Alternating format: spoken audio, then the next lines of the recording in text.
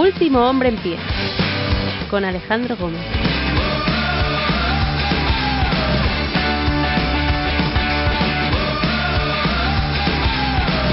Buenos días, buenas tardes, buenas noches. Bienvenidos, yo soy Alejandro Gómez. Hoy es 13 de septiembre del año 2024 y este es el episodio 942 de Último Hombre en Pie, un podcast de lucha libre. Hoy quería abordar un tema correspondiente a lo que sucedió y ocurrió en All Elite Wrestling el otro día, que es que Nigel McGuinness va a retar a Brian Danielson. De momento no es un combate titular, de momento no sabemos siquiera si Brian Danielson va a poder estar porque fue atacado por el Blackpool Combat Club y fue ahogado con una bolsa de plástico por John Moxley, con lo cual ahí hay muchas cosas que explicar, pero sí que es cierto que mm, llegó Nigel McGuinness y entre toda esa movida se postuló como rival de Brian Danielson. Para muchos de los que hemos visto esa rivalidad es algo magnífico, brutal. Es, es, algo que muchos pedíamos cuando en muchas circunstancias Nigel McGuinness, en nuestra cabeza al menos, no iba a regresar, porque estaba lesionado para el resto de los restos. No le iban a dar el alta médica. De repente el alta médica se la dan. Se la dan en All Elite Wrestling y se y se dan las circunstancias de que puede enfrentarse al mayor rival que ha tenido en su carrera, que es Brian Danielson. Eso para un fanático de la Ring of Honor de mediados de los 2000 es increíble. Un, eso para el fan que ha revisionado esa rivalidad, como es mi caso, es increíble. Pero ¿y para el resto de gente? Y me paro a pensar en cómo el wrestling vehicula la nostalgia como una historia actual, como un remake de aquello grandioso y grande rimo que recordamos como un gran momento. Y a veces esos momentos no superan el paso del tiempo. Da la casualidad de que el McGuinness contra Danielson, el de Ring of Honor Unified y todos los que tuvieron, sí lo hacen. Pero hay muchas cosas que no pasan el paso del tiempo, que no pasan ese corte. Hay muchas cosas que nos parecieron geniales, que luego si las miras con perspectiva te das cuenta de que simplemente eran cosas que a nosotros nos sucedieron en momentos felices, en nuestra preadolescencia, en nuestra infancia, cuando no teníamos ningún tipo de atadura, cuando éramos libres y felices. Eran momentos en los que todo te entraba por los ojos porque todo era nuevo para ti, porque no tenías otras referencias, porque no tenías obligaciones, porque la vida era simplemente sentarte y disfrutar. Y llegar a tu casa, irte con tus amigos a jugar a fútbol y merendar y ponerte la tele y ver todo lo que echaban.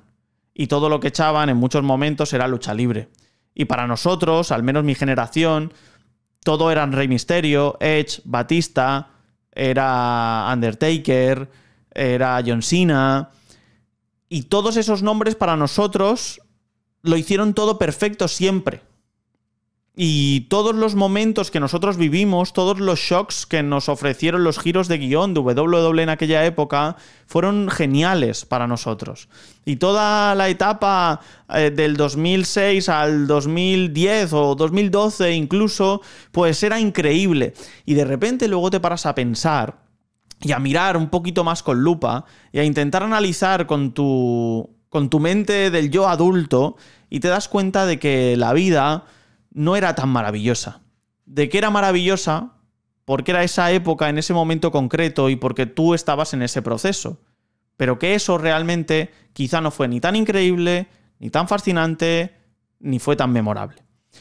Y en eso estamos un poco en el wrestling actual me da la sensación de que en muchas circunstancias todas las historias o muchas de las historias que se generan son o porque las hemos vivido hace muchos años y queremos reeditarlas con otros nombres, con otros personajes, o simplemente beben de aquello.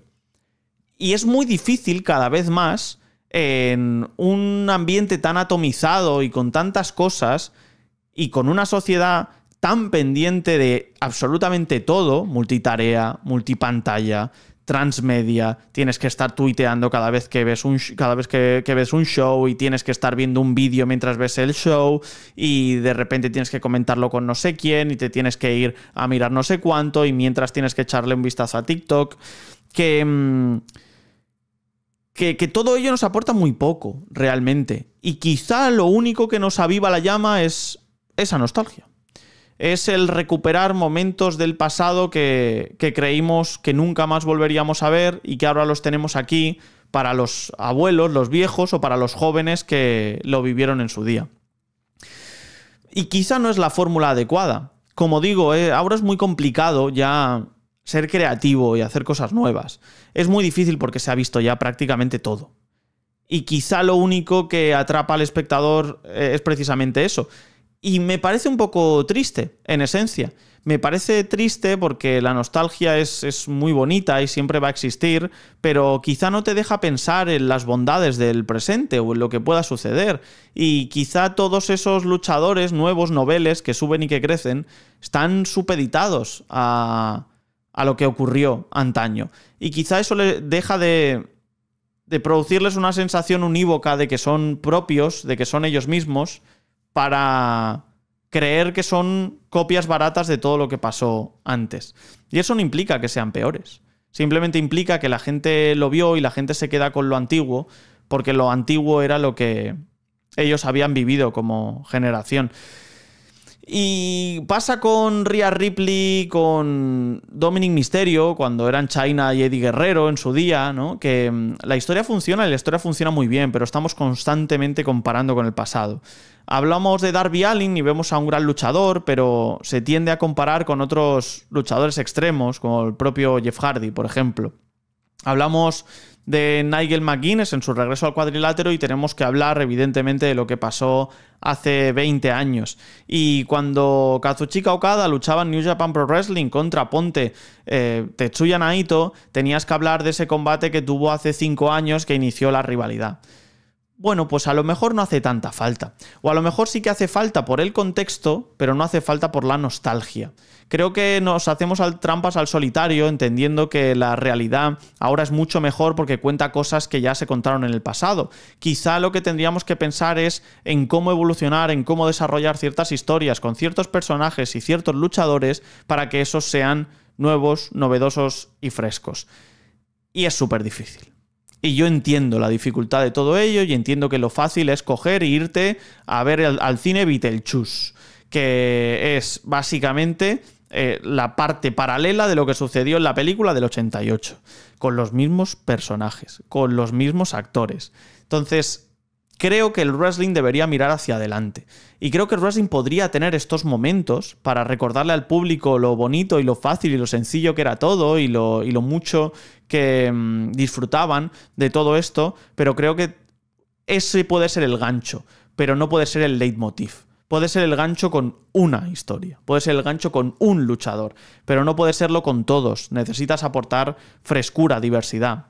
Y en muchas ocasiones se consigue, pero en muchas otras no. Y creo que la lucha libre tiene que tener cuidado en ese aspecto, para no atrabancarse, para continuar, para seguir hacia adelante, para creer que hay espacio para la mejoría y sobre todo hay espacio para la novedad.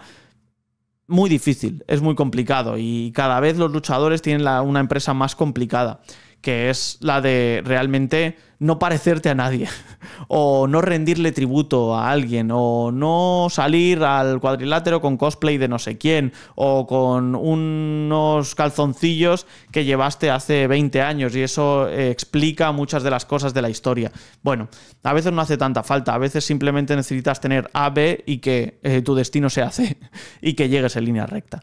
Bueno, es un debate, me parece que bastante interesante para tener ahora con el bueno de Santiago Tomasi en esta primera y única parte del programa para él. Vamos a hablar también sobre la debacle de All Elite Wrestling y los shows en, vivo.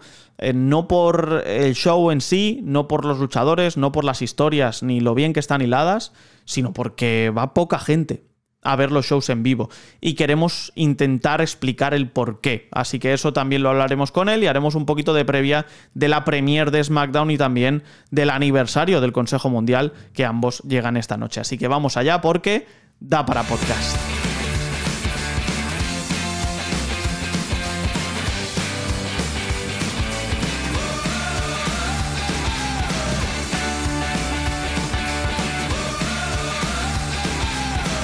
Santiago Tomasi, de los, de los Tomasi, de toda la vida. ¿Qué pasa? ¿Cómo estás? Muy buenas, pues la verdad es que bastante bien, con ganas de hablar hoy un poco de lucha. Pues sí, de luchitas falsas en una semana, yo creo que ajetreada para ti, ¿no? Un poquito. Empieza la NFL, tú estás metido en mil movidas ahí. Cuidado, ¿eh? Sí, no, esta semana ha sido un absoluto caos, este fin de semana es otro caos, pero bueno, al final es lo que toca y es un poco lo que disfruta uno, entonces tampoco... Uno se puede quejar, pero tampoco se puede quejar. Sarna con gusto, esto es así. Exacto. Bueno, siempre, siempre, nos vamos a poder quejar, porque la vida está para quejarse también, ¿eh? Pero si te gusta, luego al final tú, tú tiras para adelante y ya está. Vosotros tirad para adelante con Santiago en arroba Tomás y Santiago. Ahí lo podéis encontrar. Y yo siempre me voy a ir a referir a Hot Tag, el canal de YouTube, con lo mejor y lo peor de la lucha libre. Hasta que Tom, tú me digas lo contrario, yo voy a seguir pensando que Hot Tag está vivo. Eh, debería estarlo, quiero decir. Espero poder volver algún día, pero la verdad es que reconozco que está siendo un año demasiado intenso para lo que esperaba yo incluso. ¿Sí? ¿Pero por qué? ¿Por temas de fútbol americano? Eh, sí, fútbol americano, trabajo. Es decir, normalmente ya suelo tener años eh, duros, pero este año está siendo muy loco todo, entonces no me da la vida, pero espero que me dé. Bueno, yo casi que prefiero eso que no todo lo contrario, eh, también te digo. No, tal, es decir, el año está yendo bien por las razones, ¿cómo decirlo?, adecuadas. Entonces no me puedo, es decir, no es que no me pueda quejar, me refiero, es que es positivo. Este año estuviste en Irlanda, ¿no? Sí, correcto, en enero. No está mal, ¿eh? No está mal para empezar el año. Para nada, la verdad, y este año además con lo de si no pasa nada raro, que tengo que decir si no pasa nada raro, lo de Londres y demás, pues la verdad es que es un año que mola bastante. Sí, vas a, vas a ir, ¿no? Más de a más de un partido. A si el, plan original, si no cambia nada laboral, es ir a los tres. ¿A los tres? Uh. no está mal, ¿eh? Tres partiditos de fútbol americano. Solo he, estado, solo he estado en uno en mi vida y ahora en uno de NFL, obviamente, fútbol americano está más solo estoy en uno en mi vida y ahora voy a estar en tres, pues hombre, el, salto es evidente, yo creo. ¿Lo recomiendas o no? Sí, es, muy divertido y yo creo que además eh, ver NFL en directo es una experiencia muy distinta. Eh, yo la he visto en el campo del Tottenham, no sé cómo será en Wembley, que es el otro estadio, que eso ya lo comprobar este año, pero el estadio del Tottenham además que es un estadio ultra nuevo, ultra moderno, ultra preparado, mola un montonazo. De todos los deportes que, han visto, que has visto en directo, incluyeme eh, el wrestling, ¿dónde los ponderas? ¿Por encima o por debajo de la lucha libre? En directo, ¿eh? Yo diría fútbol americano por encima de wrestling. También es verdad que, claro, la comparativa es injusta porque en wrestling es un show estafa. Un saludo a nuestros amigos que vinieron pronunciando que era WWE y no lo eran, que era un pequeño. Y un show de. Mm, un house show. Entonces, quizá el wrestling, eh, cuando he estado en W, quizás hay sí algo más. Es decir, sí que mola más, pero yo diría fútbol, fútbol americano, wrestling en top 3. Yo, a, mí me pasa una cosa con el wrestling en vivo que es emocionantísimo y me encanta, pero sí que es cierto que mm, al final, como estés en el cuarto anfiteatro, no ves absolutamente nada. Es que estás mirando las pantallas todo el rato, por lo menos ahí tienes a 22 jugadores compitiendo. Ya, eso sí, y además yo creo que la sensación es que cuando tú estás tan arriba en un espectáculo de wrestling, como que te pierdes parte. Que yo cuando estuve en NXT estuve súper contento de estar arriba, ¿eh? que consta en acta, que estaba estábamos eh, Mike y yo, que Mike también lo habéis oído en el programa, en la última fila, literalmente. en la última fila de que nuestra espalda era la última del Barclays. Bueno, pero quiero decir, es distinto. Yo creo que ese es un poco el punto, que es muy diferente. ¿Qué año fue ese? Joder, cuando se hizo WrestleMania en Nueva York. Uf, ahora no recuerdo. El Gargano, el combate main event es el Gargano contra Cole, el tercero. ¿2018? Creo que sí. No sé si 2018 o 2019. No lo sé, porque es que yo estuve en SummerSlam del 18 en el Barclays en penúltima fila. Te lo digo porque a lo mejor incluso compartimos no, toque de espalda. Toque de espalda no, porque fue, es decir, el nuestro fue WrestleMania. Fue el fin de semana de WrestleMania. Ah, bueno, claro, sí, es verdad, claro. Y nosotros fuimos el sábado a esto y el domingo a cuando hizo. Es que ahora mismo me voy a equivocar y la gente se El G1 Supercard. Exacto. Sí, yo, yo creo que fue por esa época. Sí, sí. Qué pedazo de show el G1 Supercar, ¿eh? te digo. Bueno. No, o no. Tenía un cartelerón que flipas, eso sí. Tenía un cartelón que flipas, estuvo guay, pero el, problema que tuvo, y no es coña, es que a muchos de los que estábamos, a muchos, a mí, por ejemplo, me sacó bastante todo el tema de Big Cash y su puta estampa, la verdad. Big Cash, que si no me equivoco en ese show, va y salta la valla sin que estuviese programado, ¿cierto? Pero sí estaba programado, claro. Es que Big Cass y, y, mm, Enzo Amore, sí. No sé cómo se llamaba en aquel momento. Hicieron el esto que había propuesto Bully y tal, en mitad de la movida, era como. porque encima era un muy buen combate, fue como al final del combate, nadie entendía qué pasaba, ninguno lo vimos en directo y no estaban mal puestos en Madison y fue como, joder, no estoy entendiendo qué narices está pasando. ¿Es posible que Matt Taven ganase un título? El mundial. Gana... Buah, Matt Taven ganando el título mundial. ¿eh? Con la gente de fan de Ring of Honor muy contenta y con el resto que vamos ahí un poco a ver buen wrestling, en plan de. "Eh, Matt Taven, qué coñazo. Sí, yo recuer- recuerdo verlo en diferido, yo ese, ese show, y no, no me pareció mal show, tendría que volverlo a ver, claro, pero son de este, de este tipo de mm, eventos que se daban antes cuando no había All Elite Wrestling, ¿no? Y podías, eh, eh, esos luchadores que no estaban en WWE los podías descubrir, ahora hay muchísima más facilidad para verlo y es diferente, es distinto, ¿no? Creo que no triunfaría ahora un All-In, por ejemplo. Es que estaba además el, el golpe grande y el golpe importante. Era que era el primer show que hacía una empresa que no fue su Claro. WWE en el Madison. Claro, con, lo- claro. con todo lo que ello implica. Entonces, Claro. era como, wow.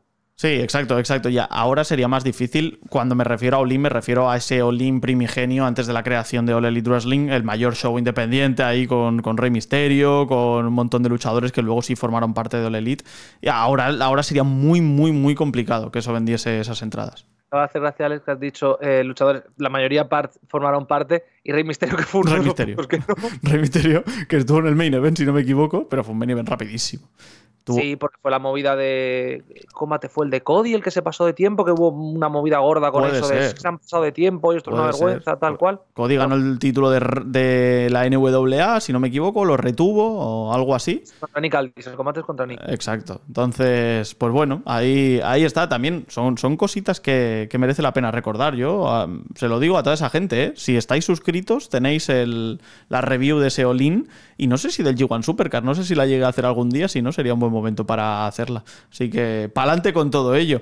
Eh, señor, he hablado en la entradilla sobre algo que yo creo que es un buen debate para, para lanzarlo aquí, que es si el mundo del wrestling vive del pasado constantemente. Me pasó ayer con Nigel McGuinness una cosa muy positiva, que es que había visto parte de esa rivalidad con Brian Danielson y para mí fue un boom tremendo.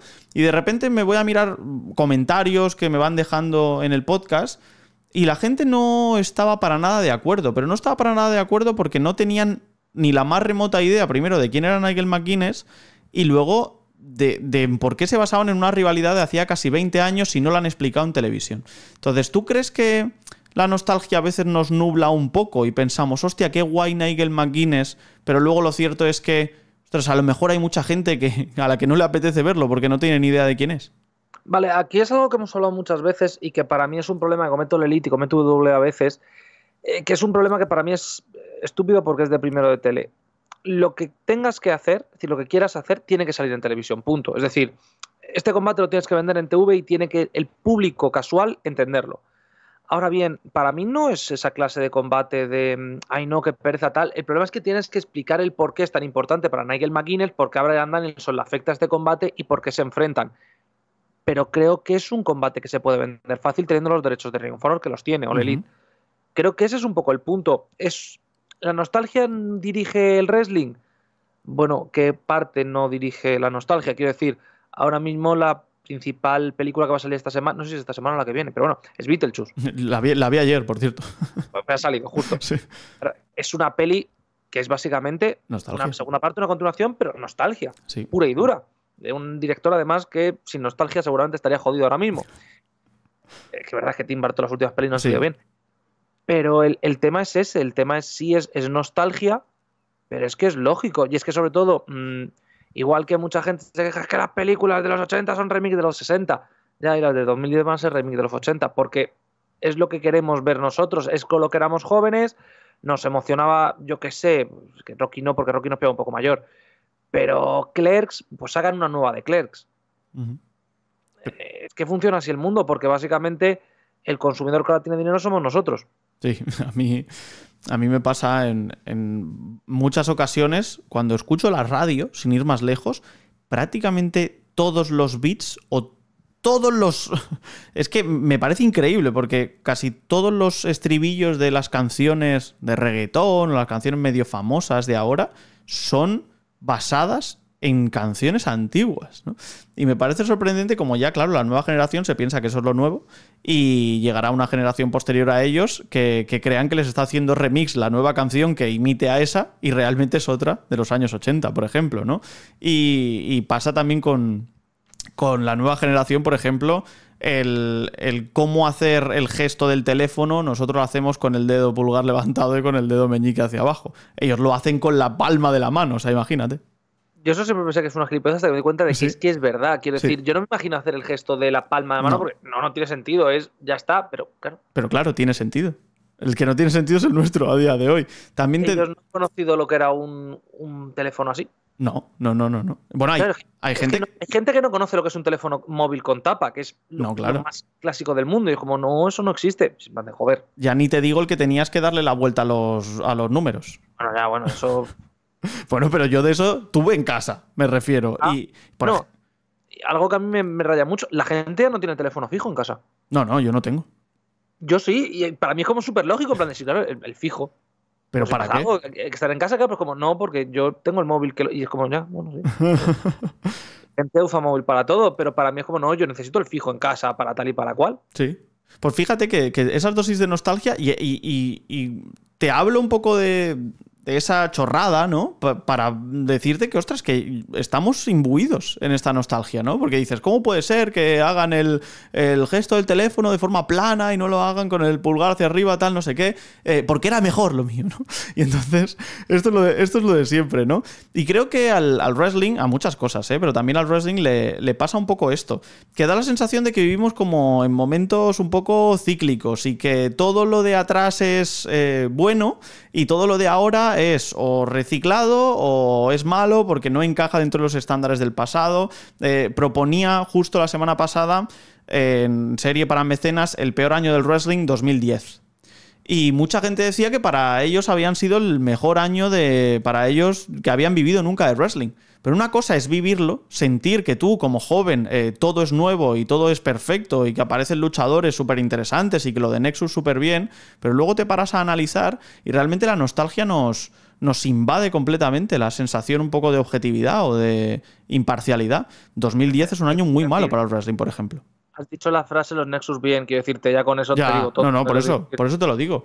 Pero que, que, Y me da la sensación un poco que con Nigel McGuinness estamos haciendo un poco lo, lo mismo, ¿eh? Me encanta. A mí me parece que es brutal y, re, y, rememorar todo ello es una dosis de nostalgia increíble. Pero no sé si tú crees que esto afecta también a lo que se cuenta a día de hoy, si estamos tan centrados en la nostalgia que dejamos de lado el presente. Bueno, a ver, Ole Elite no peca de eso, quiero decir, acaba de tener campe campeón a Swerve, tiene como ex campeón a Hangman Page también, que son talento joven, que son talento que, bueno, tienen mucho todavía que demostrar, pero que ya ha demostrado mucho, es decir, que todo el mundo entienda esto como algo positivo y no como algo negativo. Pero mi punto y mi debate sobre esto de la nostalgia es que me parece que es lo más razonable del mundo. Quiero decir, usar figuras del pasado no es un problema. Basar todo tu producto en figuras del pasado es un problema. Tener a McGuinness de retador, que no es de transición, pero sí en el sentido de que es muy poco probable que hagan el título, pero sí no, que tiene una historia detrás. En, etcétera, principio, etcétera. en principio ni va a retar por el título, o sea, fíjate. Bueno, sí, va a tener el combate, me refiero. Me parece que es una muy buena idea. Ahora bien, si esto fuese es que va a ser campeón, porque McGuinness, porque tal, sería un desastre. Uh -huh. Pero yo creo que esto sí es es decir, tú le tienes que dar algo al nuevo espectador que no conoce a McGuinness para que le flipe, que es un personaje nuevo, que es un tal, que es un cual. Y a mí, que soy una persona más mayor, a lo mejor me tienes que dar un caramelito de otra cosa que yo conozca y me guste. A mí eso no me parece mal. A mí lo que me parece mal es lo que hemos visto años de, de WWE de. No, está Goldberg. Vale, ¿contra quién? Contra Lesnar. Vale, es un combate que quería ver en 2004. en 2004 ni siquiera, en 2003. Estamos ahora mismo 20 años después las cosas han cambiado mucho, hay otros luchadores, no les estás dando las oportunidades necesarias. Pero claro, dicho esto, el que hagas eso con luchadores tipo McGuinness, que lleva décadas sin pelear, sí, ya puedo decir décadas, sí. menos una seguro, eh, influye mucho más a que el espectador esté mucho más interesado y mucho más emocionado en el combate. A mí me parece que es una buena idea, personalmente. Mm. A mí, en, en, líneas generales, me parece buena idea. Creo que no tenemos, no tenemos que perder de vista tampoco el presente. No podemos centrarnos tanto en lo bonito que fue el pasado y qué maravilloso y demás. Los recuerdos son imborrables y son fantásticos. Y hay que hacer revisionismo a veces, ¿eh? sobre Exacto. todo de qué bonito es el pasado. Porque muchas veces, que esto pasa siempre y lo que hablamos siempre de la storyline de The Bloodline. Cuando hablemos de la storyline de The Bloodline dentro de 15 años, la gente recordará el ¡buah, qué bien me lo he pasado! Ahora bien, la persona que quiera ver todos los Raws o todos los SmackDowns va a decir un punto, va a decir, puta mierda que no pasa nada. Ese es el punto principal. Está muy bien que el producto, además el wrestling como funciona una telenovela a veces lo hace así. Está muy bien que el producto actual funcione y funcione en el sentido de la gente lo ve y está atrapada, pero para mí también es importante que haya un punto de, oigan, ¿esto se va a sostener en el tiempo?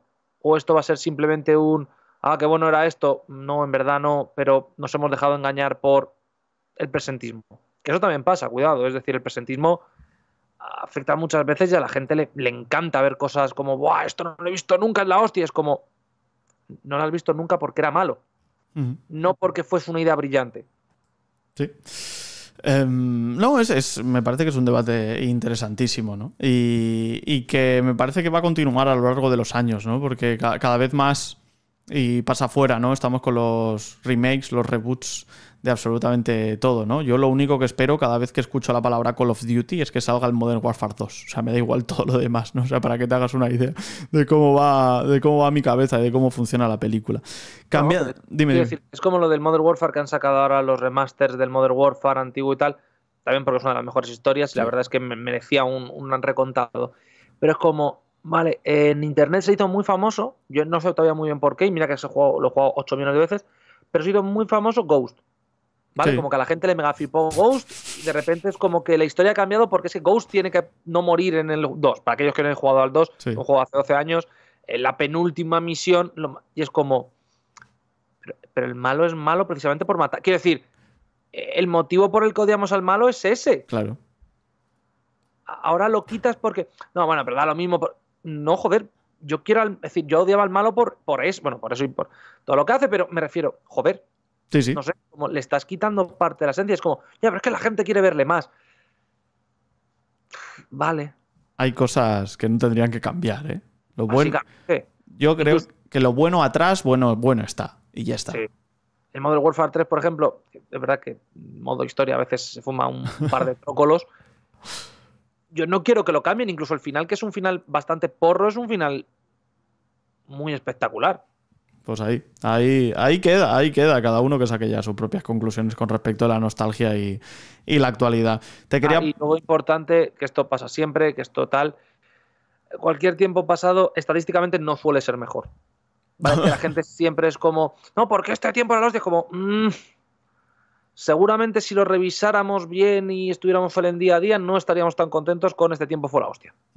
Sí, porque además como, como la, la, actualidad y la vorágine te come, en muchas ocasiones no, piensas con claridad, simplemente piensas con el, con el fervor de la actualidad. Entonces, eso puede pasar factura a lo largo del tiempo, también porque la, perspectiva de las personas cambia y porque la vida cambia y es distinto.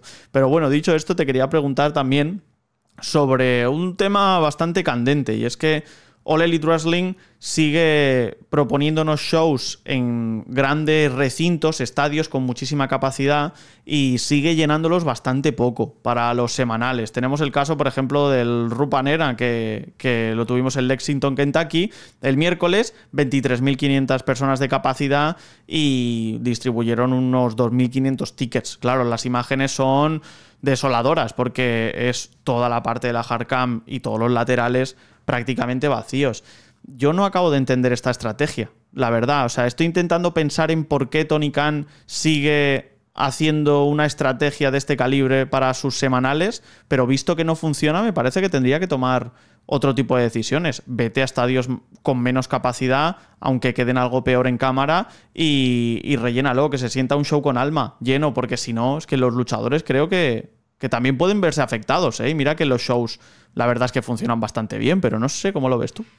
Hombre, a mí lo de que haya shows a media entrada tal nunca me gusta. Nunca me gusta porque me parece que es una, una putada para los luchadores, sobre todo, porque al final el wrestler se basa mucho en la reacción del público. Entonces, si estás a medio gas, 20% de gas, 30% en cuanto a entrada, ah, es difícil.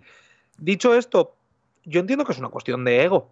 Es decir, de, mira, yo soy Tony Khan, yo puedo llenar arena si voy a llenar esta arena. es como, vale, quiero decir, en plan, si, la puedo llenar, pero a mí no me parece que sea una idea adecuada. Yo es que, yo no sé si es un tema de ego o es un tema de, de poca percepción de lo que tienes. Me voy a explicar. All Elite Wrestling para mí es una empresa que hace muchísimas cosas bien Me parece que, sus historias funcionan y funcionan muy bien, tienen muchísimo talento, tienen un wrestling fascinante. Y eso mmm, no significa que vayas a tener siempre sold out en todos lados, porque influyen muchísimos otros factores, como el factor de la publicidad, el factor de, cómo te presentas a un público algo más casual, pero sobre todo creo que los factores determinantes son, y lo he repetido mil veces, pero es que Tony ha quemado muchos territorios. La gente ya no le apetece ir a All Elite porque ya ha ido tres o cuatro veces eh, este mismo año. Y luego otras de las cuestiones que yo creo que, hay que poner aquí en, en, marcha es a qué precio están las entradas y qué te incluyen. Porque a veces vas a ver Dynamite y vas a ver Dynamite, vas a ver eh, la grabación de Collision a lo mejor y eh, un Rampage. Y además a lo mejor te ponen también un par de grabaciones de Ring of Honor. A lo que me refiero es que, claro, tú un miércoles, ¿cuánto tiempo tienes para ver show? ¿no? Y creo que eso también puede ser un problema de cómo se presenta esa entrada al público para que la compre. Bueno, pero al final quiero decir, el, por así decirlo, para mí el que haya más nunca es algo negativo porque tú puedes entrar a mitad. ¿Sabes lo que te sí, sí, decir? claro, sí. El, el, tema con eso es que obviamente el hacer todos los shows así te da un beneficio económico claro, que es que tienes que crear una arena, no cinco, pero también da esa sensación de quemazón y sobre todo ahí cuando son shows grabados, que esto pasa mucho también en NXT y en otros productos que han sido pregrabados varios programas, TNA es el epitema de esto, se acaba formando una especie de corriente dentro del público por el show previo mm, que no acaba de trasladar bien al show siguiente porque es como, joder, ¿por qué está la gente abucheando a yo que sé quién? Y es como, no, porque ha pasado algo que hace que la gente abuchee, que tú en casa no lo sabes, etcétera, etcétera. No le lindo ha pasado todavía, pero es algo que puede ocurrir. No sé, yo creo que es una situación compleja y creo que es una situación donde obviamente el carácter de Tony lo pone difícil que vaya a hacer un cambio. Pero no le saldría más a cuenta alquilar recintos de 2.000, 3.000 personas. No te digo que alquiles gimnasio, por favor. No estamos hablando de WCW en el 93 eh, que dijo, bueno, chavales, que se ha roto una tubería, una cañería y no puedo hacer show, ¿vale? No te estoy hablando de eso.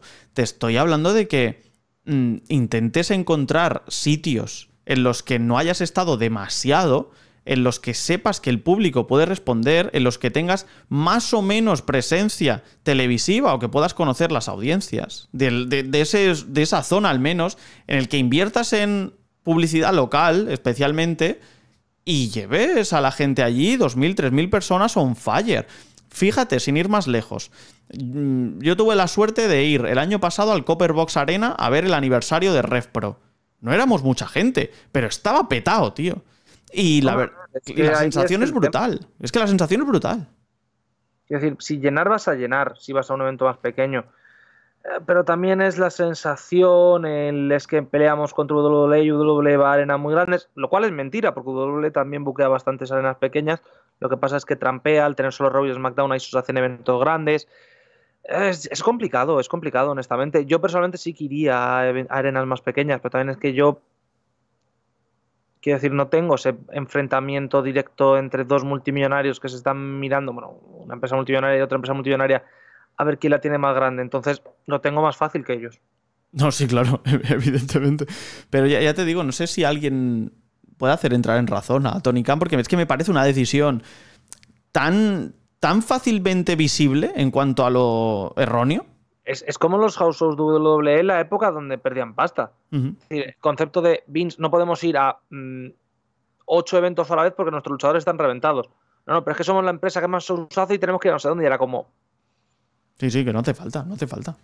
Ve no a donde falta. quieras, pero el problema va a mantenerse, amigo. Mm, eh, quiero ver, sobre todo, si en la renovación de contratos televisivos, que parece que está cerca, eh, ya no solo el Elite Wrestling entra un poco en razón, sino que además eh, la estructura a lo mejor de los semanales le puede ayudar.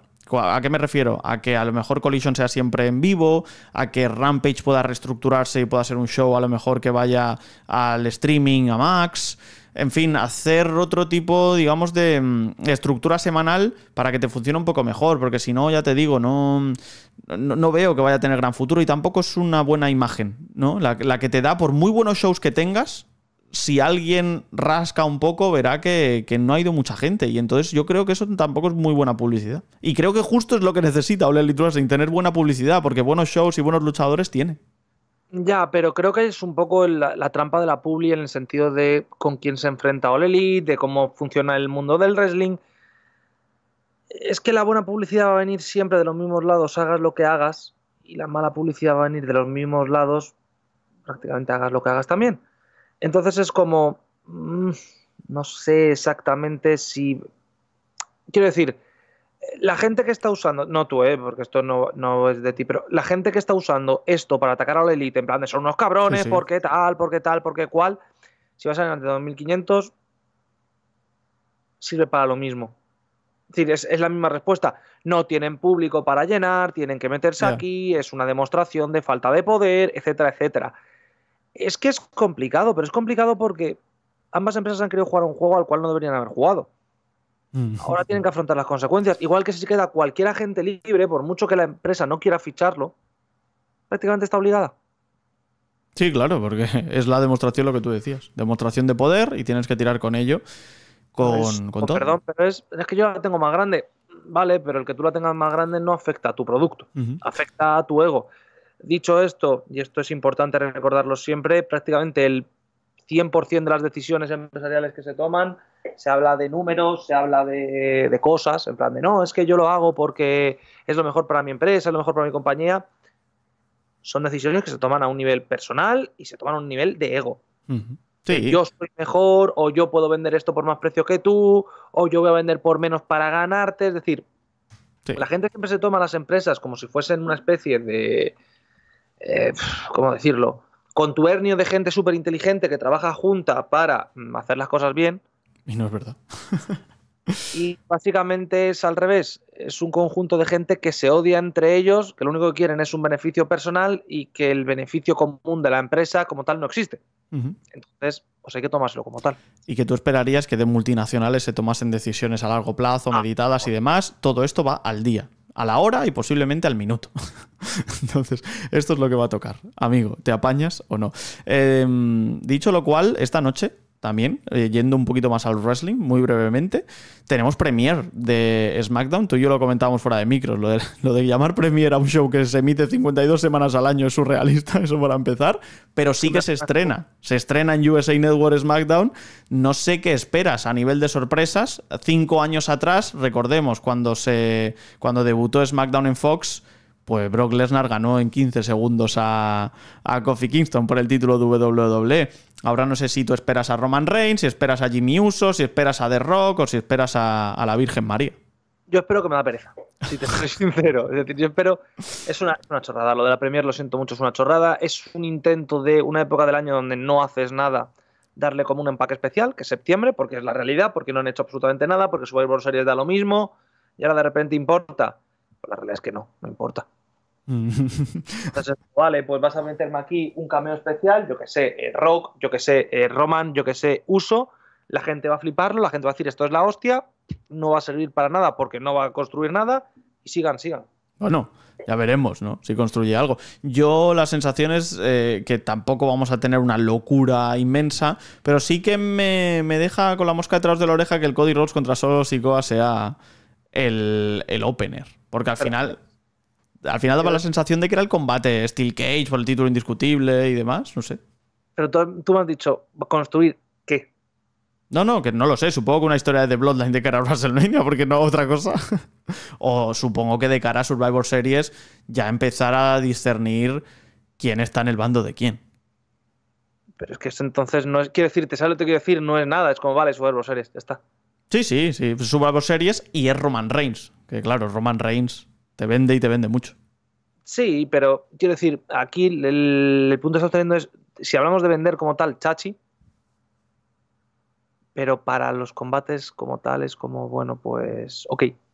Mm. No sé, es como que yo entiendo a la gente que está súper ilusionada, a mí es que me da bastante lo mismo por eso mismo, porque es un, ok, vale, es lo de siempre. Uh -huh. Tenemos otro Andrade contra Carmelo Hayes, es el quinto. Entonces, a ver, a ver quién sale victorioso, porque quien Son salga. completo cuatro más de los que deberíamos haber tenido. no, hombre, se han sido buenos combates, esto sí. Ah, pero que son buenos combates, pero volvemos a lo mismo. Mejor de cinco. A ambos. Bueno, ojo, porque Aquí sí yo veo algo, que es que quien gane se va a enfrentar a. a iba a decir a Logan Paul, ¿no?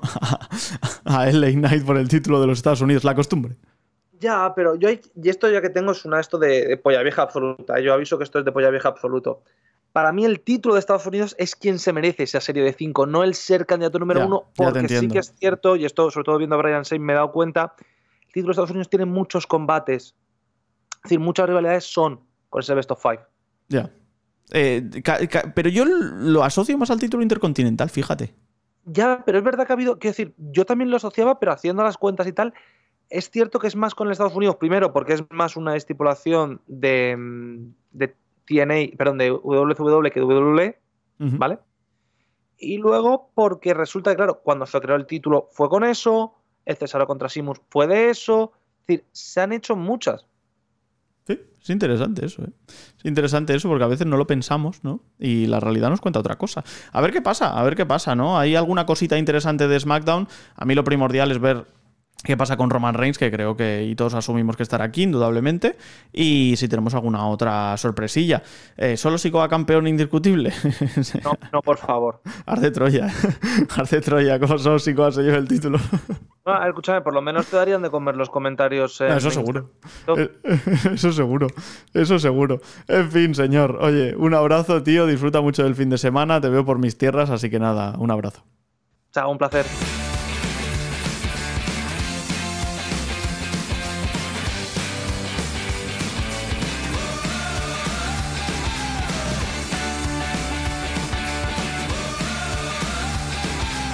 Esta noche toca el 91 aniversario del Consejo Mundial de Lucha Libre. La verdad es que me apetece bastante. Ya sabemos que el Consejo Mundial ha estado muy fuerte y muy potente estos últimos meses, que viene muy fuerte con muchos luchadores que pintan muy bien algunos, que otros son ya estrellas contrastadas y que también viene gente de fuera. El Consejo Mundial ahora mismo está en un momento de dulce, se le ha ido alguna que otra estrella, pero tienen, tienen muchísimo talento y, creo que es una buena muestra lo que tenemos en esta cartelera, que si bien es cierto que trae un Consejo Mundial contra All Elite en el main event, un mano a mano entre Místico y Chris Jericho, ya veremos cómo está Chris Jericho, porque este personaje del Learning Tree es horroroso, pero a lo mejor se pone las botas de trabajo, ya veremos contra Místico. Luego por ahí un cuadrangular de máscaras, hechicero, esfinge, euforia y valiente. A mí hechicero me, maravilla, me encanta. Y luego también tenemos por ahí relevos increíbles de corte internacional. Volador Junior, Atlantis Junior. Eh, y, vamos, y tenemos por ahí al último guerrero contra Orange Cassidy. Satoshi Kojima y Rocky Romero. ¿eh? No está nada mal. Un Willow Nightingale también contra Zeuxis por ese título femenil del consejo que tiene en sus manos ahora mismo Nightingale. Un Máscara Dorada contra Titán. A mí Titán es un luchador también que, que me encanta. Y luego la baja cartelera también bastante talento. ¿eh? Magnus, Rugido, Templario. En fin, eh, hay cositas. Hay cositas bastante, bastante interesantes para el Consejo Mundial. 91 aniversario de una empresa increíble una empresa mítica, una empresa fundacional en el mundo de la lucha libre. Eh, vámonos a contestar a vuestras preguntas, pero antes, amigos, os tengo que poner en situación. Si no habéis escuchado esta última parte en estos días, quiero recalcaros que mañana vamos a tener el primero de tres episodios de una trilogía que se va a llamar Descubriendo Lucha Libre en España. Vamos a analizar la lucha libre en España, vamos a ver y a contar toda la historia de la lucha libre en España desde el año 1900 hasta la actualidad. Y va a ser en tres tomos, este primer tomo desde 1905, 1907 hasta 1936, hasta el inicio de la Guerra Civil Española. Hay mucho que contar porque mucha gente cree que la lucha libre en España ha sido durante toda la vida inexistente. La realidad es que estáis verdaderamente equivocados. Hablaremos de luchadores, hablaremos de arenas, hablaremos de campeonatos, hablaremos de situaciones, hablaremos de eh, prensa, hablaremos de gente, hablaremos de muchas cosas. Entonces, atentos porque allá, allá vamos con todo, ¿vale? Eso será para mecenas a partir de 1,49€ al mes en iBox y también eh, ya sabéis que tenéis eh, por YouTube, en Spotify, en Apple, todo eso disponible. Además, también eh, recuerden que eh, podéis escuchar toda la hemeroteca podéis eh, leer artículos antes para mecenas, podéis entrar a un Discord que tiene porras de los pay-per-views y además también todos mis ratings, todos mis ratings los pongo para mecenas allí, con lo cual hay disponible para todos un montón de cositas por menos de lo que cuesta un café. Y ahora sí me voy a ir a contestar vuestras preguntas. Guillermo dice, imagínate ver Dynamite y que suene I am the learning tree, se te viene el bajón. Alejandro, gran podcast como siempre. José Antonio dice, me encanta esta mujer, ojalá pueda venir más. Dice Alba, dice de Alba, pues yo encantado.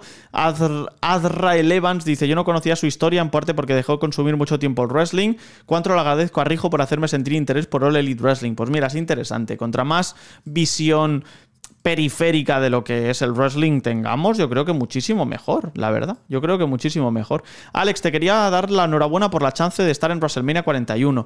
Lo vas a disfrutar. Muchísimas gracias, de verdad. La verdad es que estoy verdaderamente contento. Luis, soy uno de los pocos que no conocía a Nigel McGuinness. No sabía que tenía tanta historia con Brian Danielson. Se pueden ver en algún sitio sus combates. Casi todos están disponibles en, en YouTube. O sea que os los recomiendo encarecidamente. Matías Darby se merece su oportunidad. Mox versus Danielson ya lo hemos visto. La gente quiere a Darby. Yo creo que podrá llegar Mox primero y ya llegará Darby que tiene tiempo. EG, ojalá Tony por fin le push a Takeshita. Ojalá, ojalá.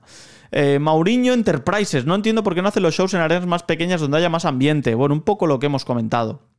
Eh, un poco lo que hemos comentado, sí. Eh, Gigi Cere dice: esa cartelera de Dynamite Grand Slam, aunque un cartelazo, eh, también confirma ahora sí lo que dijo Cien Pan. Ahora Elite Wrestling solo le importan luchas de 5 estrellas random. No estoy de acuerdo. Dice que McGuinness Danielson está sacado de la manga. Em, entiendo por qué lo dices, pero no estoy de acuerdo. Y dice: es como si en el próximo Dynamite saliese Takeshi Morishima del retiro o Kenta apareciera. Joder, pues sería increíble, ¿no? sería increíble. Black Bull dice, todo muy bonito de Nigel M, pero ¿quién vio la rivalidad de verdad antes de este anuncio? Hombre, pues entiendo que mucha gente, porque es bastante conocida. Que no, ¿lo has visto? Me parece perfecto. Es un poco lo que comentábamos antes, ¿no? Que yo entiendo el por qué eh, hay público que, no comprende esta decisión, ¿no? y por eso hablo un poco de la nostalgia en el podcast de hoy. Em, y, hay gente que piensa que verdaderamente Nigel McGuinness contra Brian Danielson es una lucha random. Entonces yo creo que es cuestión de que Ole Elite Wrestling explique realmente quién es Danielson. Y um, Josumanes dice, Jordín contra Wendy es esta noche en Victory Road, no en for Glory. Bueno, eso es lo que ponía en el comentario, pero efectivamente eh, Victory Road, correcto, que también tenemos show por ahí. Daniel Grajales dice, ¿cómo crees que la inteligencia artificial puede incluirse en la lucha libre? ¿Crees que puede hacerse de manera orgánica? Y Tomás dice, por data, Tomás y suelta el vino borracho, dice Anónimo, que es evidentemente un comentario a favor de Santiago Tomasi.